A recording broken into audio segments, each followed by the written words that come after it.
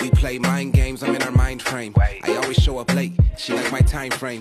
I knew her from way back, a different time space. She logged off from her ex, now she's in my space. Yeah, and I'ma push up on it like I'm supposed to. We a perfect picture, all them love the way we pose too. I see them sending shots, that's just something.